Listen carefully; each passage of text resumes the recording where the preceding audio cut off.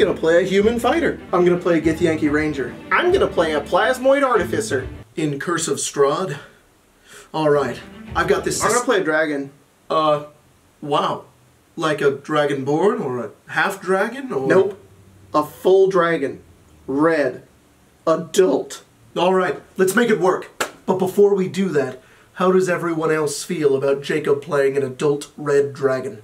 I don't care. I think it's fine and also really cool because, you know, I'm playing a Githyanki. I'm cool with it so long as we can still talk to people. Makes total sense. Alright, Jacob, how about we go totally custom on a character origin and you'll level up with the rest of the party for the sake of balance. But you can pick whatever class you want and flavor all of the abilities and spells and anything you would get from it as whatever you want. Plus, your character will physically appear as a red dragon. Yeah, sounds awesome. Perfect.